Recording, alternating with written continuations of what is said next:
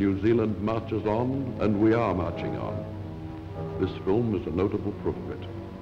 The genius of mankind is inventing almost daily machines to do the back-breaking, muscle-wrenching, soul-searing manual labor of the bad old days. To these machines should be transferred the more intolerable of mankind's burdens.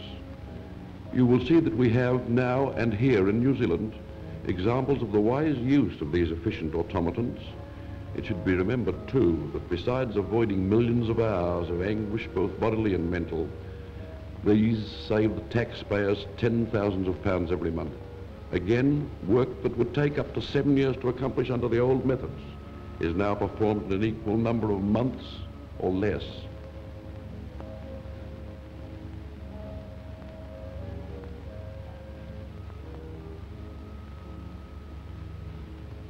Here are a few examples of the old-time methods. They built the pyramids like this, though I wasn't there. Here you see human suffering and needless fatigue going hand in hand with unnecessary waste of money. Look at that barrow. Think of the bodily condition of these unfortunate men. Here's just another example of time and money-wasting methods. Now let's turn a glowing page in New Zealand's history. One of the Dominion's biggest jobs in rail and road construction was the Mohaka Viaduct, 350 feet high and 1,000 feet in length. There it is, half finished. The Mohaka Viaduct was designed, its fabric was forged and erected in record time by our own workers and our own engineers, many of them trained on the job. Bird's eye views give a good idea of the enormous height of the viaduct.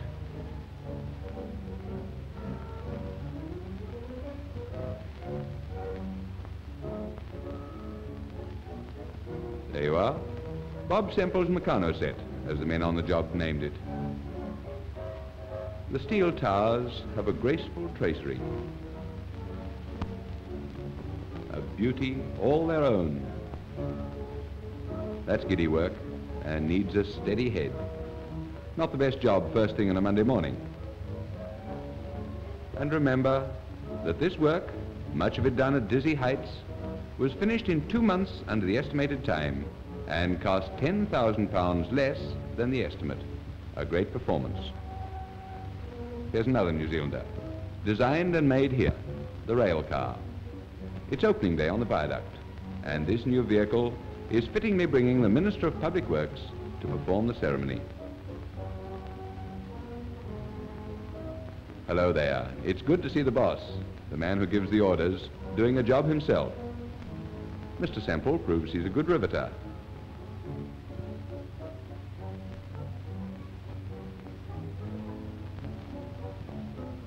Mind your toes, Bob. Here's some of the team that performed the task. They look happy, and so they should. A greater tonnage of steel and more rivets per month than have ever been used before in New Zealand, while good wages and living conditions gave them the necessary drive and energy. A great job, well done. Here's a notable example in the use of mechanical contrivances. The 4ZB wireless mast at Dunedin. Up she goes, 200 feet and weighing 13 and a half tons, welded in one piece. It is fabricated by the New Zealand Public Works Department throughout, and up it goes in one single hoist.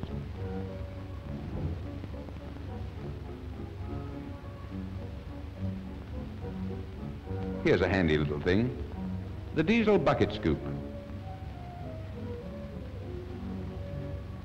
In action on the Hutt River Reclamation near Wellington.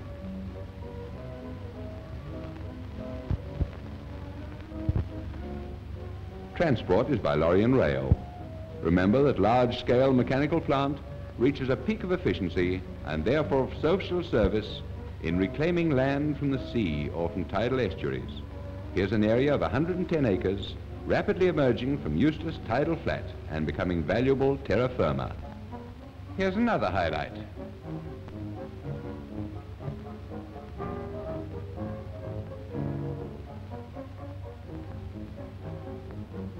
Cableway excavator. That one dip brought up two tons of sea bottom material, took it ashore and dumped it where it was wanted.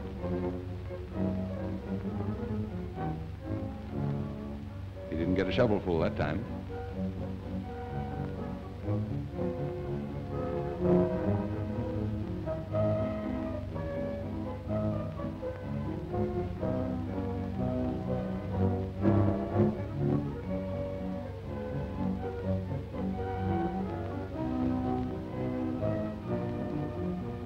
Another useful work. The plant handles huge stones like marbles to make a new retaining wall at pretty Karamea Harbour.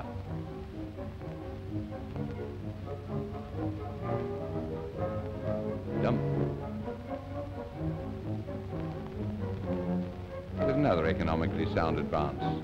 The electrically driven machine for adzing sleepers, turning out perfectly made sleepers at the rate of 2,000 a day doing the back-breaking work of 20 men.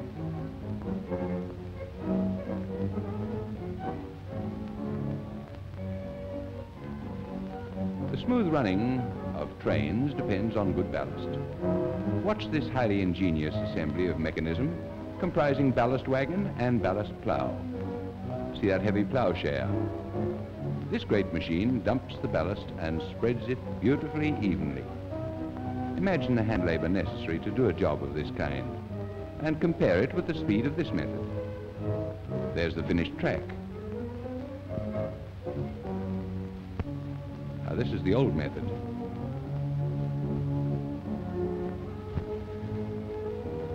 That's the tunnel scraper, one of the ideas which brings the most human relief of them all. It abolishes the unhealthy, cruel, and man-killing tunnel labor the worst of all types. This great machine hauls the material from the tunnel face and brings it out to the waiting lorries. The main obstacle in the South Island main trunk construction was the terrific Hawkswood cutting. Speed of completion here was essential to progress. 300,000 cubic yards of earthwork to be removed, a hopeless task by any ordinary methods of excavation. Giant steam and diesel shovels finished it off in nine months. Look at those men going home to lunch. Incidentally, this also shows you the 65-foot depth of the cutting. More men going to lunch. Even the trimming of the sides is done by these uncanny machines. Mechanized methods increase the speed of construction five times and, moreover, halve the cost. You don't have to be an engineer either to see how simply and efficiently these great things work.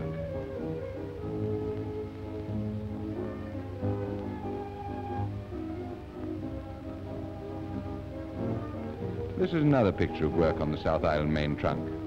It's where the line runs along near the coast. The big crane is handling rocks for heavy protection work.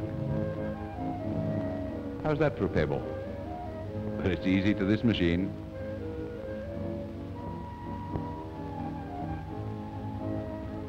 Here's another advantage of modern plant. Its ease of transport. This enormous 12 cubic yard carry-all scraper is on its way to work with no more trouble than a baby car. That's a tight squeeze. But bridge builders didn't foresee moving monsters of this kind. You'll see one of these big fellows at work quite soon. Look at those tires. How'd you like to change them?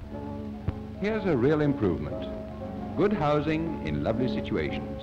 Modern schools, well equipped, for good conditions, mean good work. Here's the real young New Zealand.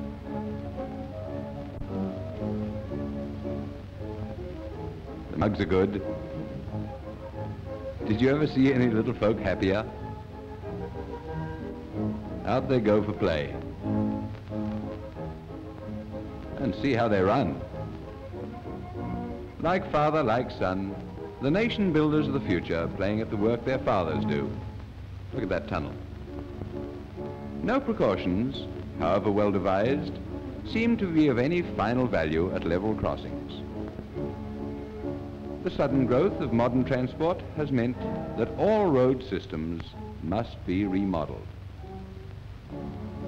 Hundreds of these dangers to human life are being eliminated, mainly by overbridges, which have been proved the most efficient method.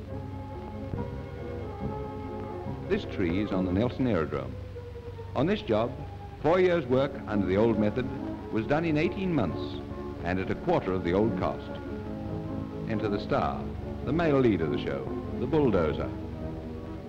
How would you like this on your front lawn to remove the worm casts?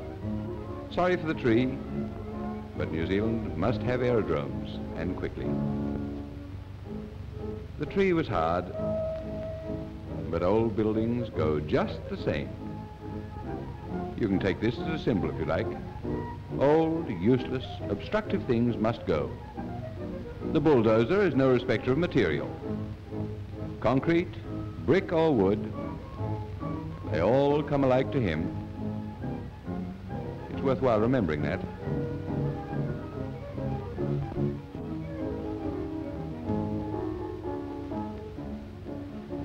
Like so many of these modern titans, one man and a few levers can control its mighty forces. Little Bull, you've had a busy day. You should be proud of the New Zealand man and the movie camera who took these pictures. They show so clearly how these monsters work. That tractor is drawing a carry-all scoop. Nothing can impede the progress of these robos. Notice their power. They can go anywhere and handle anything. Here's another airport under construction at Timaru. Enter the bulldozer again. What he's doing this time is moving shingle. And he moves shingle at the rate of 1,200 tons a day. And of course, the cost is only a fraction of the old-time way.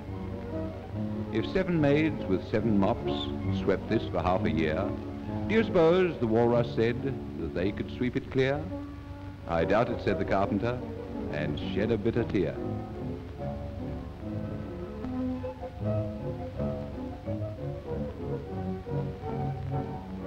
Now here's the combination of tractor and carryall.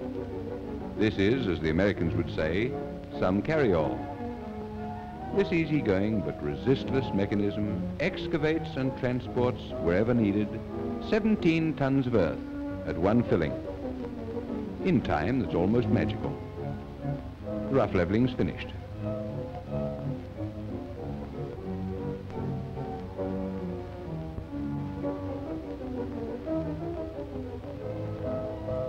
The man in the engine pulls a little lever. Puff, puff, chew, and off we go.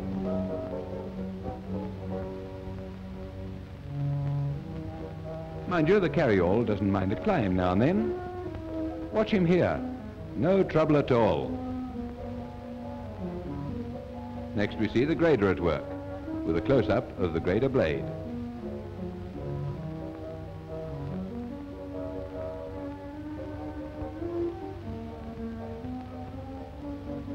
Now for the finishing off process. An aerodrome has to have a surface like a billiard table.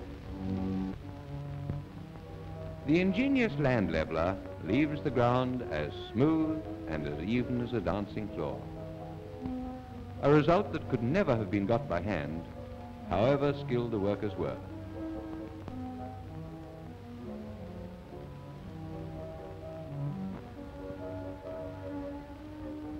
Another thing to remember is that drainage is an essential to a good landing ground. Ditches have to be dug and porous drains laid at the bottom of them. The top half of the drain pipes is porous, while the bottom half, along which the wastewater runs, is of course watertight. This ditching machine is yet another cause for pride in New Zealand's resourcefulness, since it was designed and built by Public Works Department engineers. It digs a ditch one foot wide at the bottom, two foot six deep, and two foot three wide at the top, excavating the material at the rate of 720 cubic yards an hour. The buckets are filled with gravel, and it works like a charm.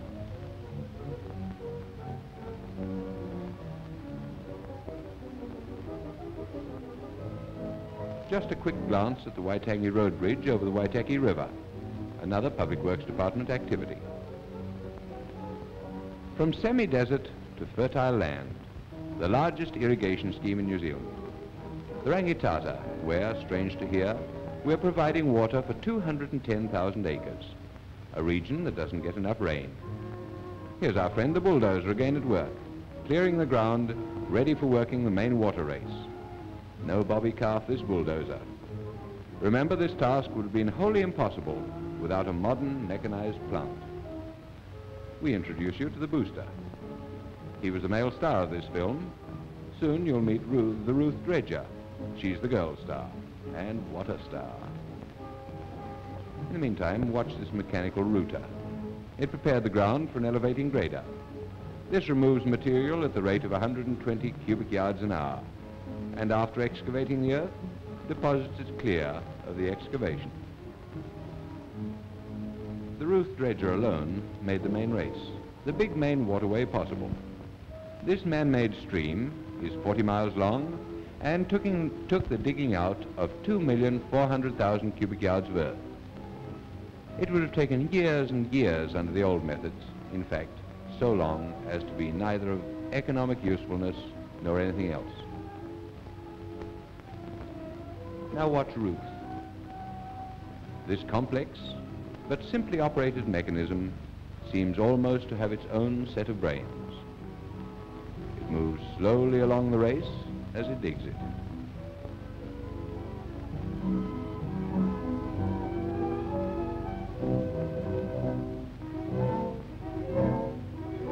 I'll give you plenty of time to watch the various parts work.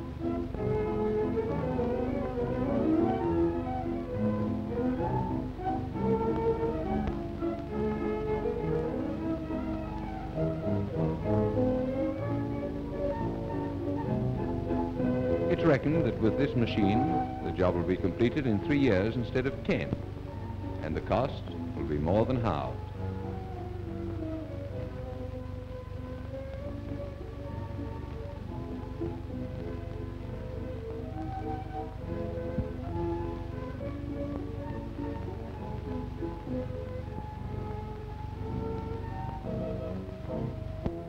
Now we'll show you a section of the finished main race. It's 20 feet wide at the bottom, or nearly as wide as an ordinary paved road. Here's the intake of another irrigation scheme, the levels. Life-giving water flows to farms below, giving life, vigor and fertility to land and crops. You'll agree, New Zealand is on the march. Here we have a land endowed with riches in a measure that is almost unique mild skies, plentiful warm rains, soil of an opulence almost unbelievable, and rare treasures of scenic beauty which go to make up an earthly paradise. It only wants common sense and practical measures, a mite of foresight, and a little gain in real brotherhood to banish forever from our land the spectres that haunt less fortunate isles. New Zealand marches on.